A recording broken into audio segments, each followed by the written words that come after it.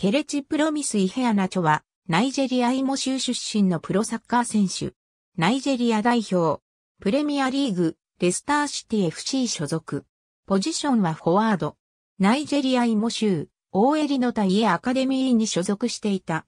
2013FIFA U-17 ワールドカップでの活躍により、ヨーロッパのクラブから関心を集めた。本人は FC ポルトへの加入を望んでいたが、父親や代理人の助言により、マンチェスターシティ FC への加入を決めた。2014年にマンチェスターシティ FC へ加入すると、開幕前に行われたプレシーズンマッチ、インターナショナルチャンピオンズカップでは、AC ミランを相手に得点を挙げるなど、実力を証明した。ツアー後、10月の中旬まで、コロンバスクルーでトレーニングをすることになった。マンチェスターシティ FC を率いるマヌエル・ペレグリーニ、監督もイヘアナチを高く評価しているが、労働許可の問題や負傷などにより、デビューが遅れていた。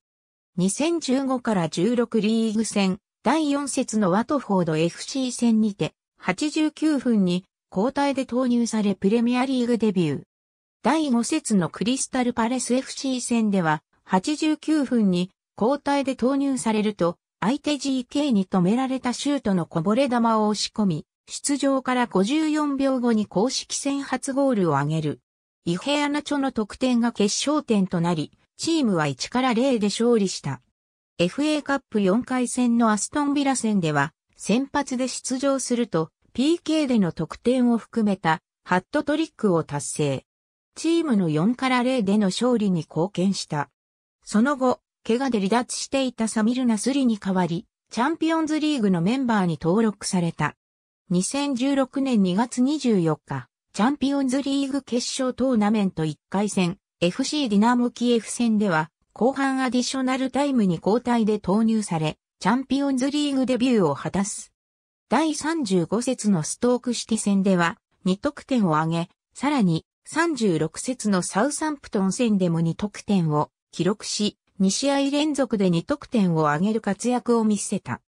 また、チャンピオンズリーグ準決勝のレアル・マドリードとの試合では、途中交代での出場ながら、ファースト、レッグ、セカンドレッグと2戦連続で出場し、デビューシーズンながら、大舞台での経験を得た。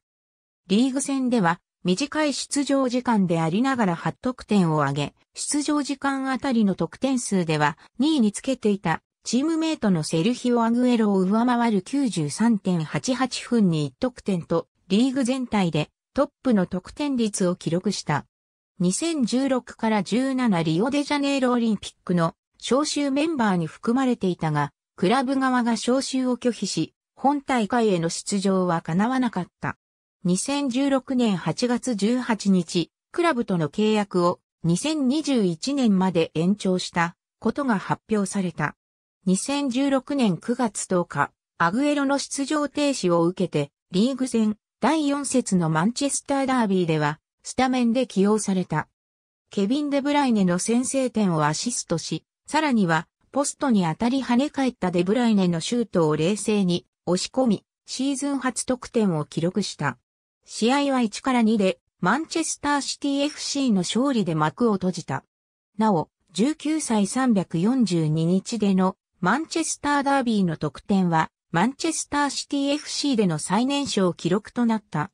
2016年9月14日、チャンピオンズリーグのボルシア・メンヒエングラートバッハとの試合では83分に交代で投入される。後半のアディショナルタイムにペナルティエリア内でレロイ・サネから受けたパスを得意の左足でシュートし、ダメ押しとなる4点目を記録した。この得点はチャンピオンズリーグでの初得点となり、チームは4から0と対象した。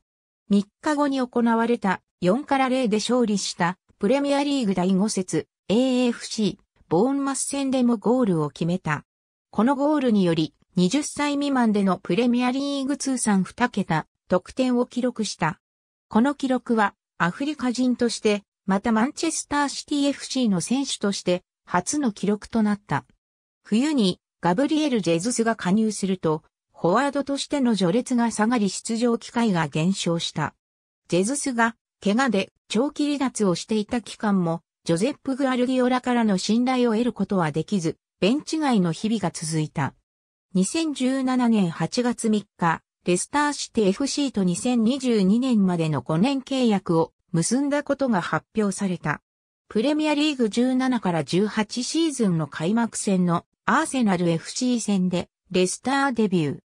2020から21シーズン5月18日のチェルシー戦でゴールを決め、同一シーズンの前曜日に開催されたリーグ戦ゴールを奪ったこととなった新型コロナウイルスの影響での試合開催日程による影響あり。また同シーズン初めてリーグ戦で2桁ゴールを奪った。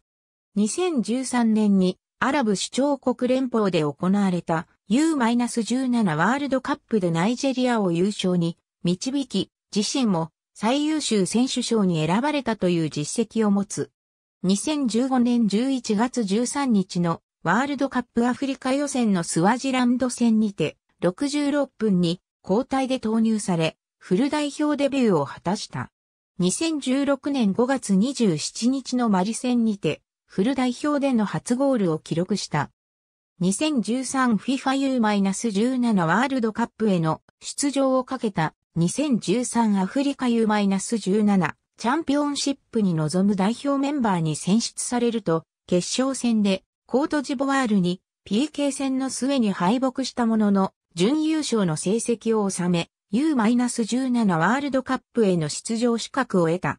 U-17 ワールドカップにおいて、ナイジェリア代表は、総得点26得点という攻撃力を武器に優勝を勝ち取った。イヘアナチョはこの大会において6得点7アシストとチームの総得点の半分を演出し、攻撃の用としてチームを牽引した。その活躍から U-17 ワールドカップでのゴールデンボール、シルバーブーツを同時受賞した。2015FIFA U-20 ワールドカップにも出場したが、出場は2試合にとどまりチームはベスト16で敗北した。2018年5月15日現在出展、SOCCERWAY.com 2018年11月20日現在出展、NATIONAL-FOOTBALL-TEAMS.com ありがとうございます。